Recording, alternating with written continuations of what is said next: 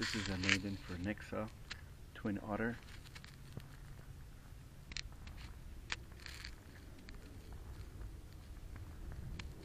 Beautiful model. I'm running on running it on a 4S battery. Set up 4500 milliamp hour. Got the uh, independent nose steering. I could have connected it with the rudder. but I wanted to have uh, better control. I have a nose wheel gyro, lights, Guardian. Doesn't need it, but I figured why not. The pain in the butt is the wiring. Making sure that you connect it properly and, and make the harnesses. I have independent landing lights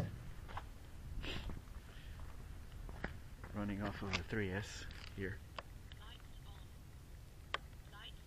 I have other lights too. I opted for the uh, counter rotating props. One side is clockwise, other side is counterclockwise. I installed aluminum spinners. Um, I think I got it from eBay, I'm not sure. But these are two inch spinners. I raised, I added a pilot. It's an FMS pilot. These doors open. I raised the seat a little bit here so the battery can fit under.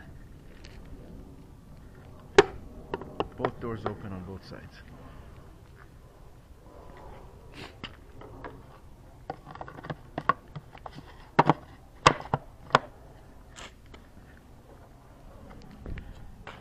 Normal setup is just uh, regular, nothing, nothing elaborate, very simple. Flaps, landing flaps.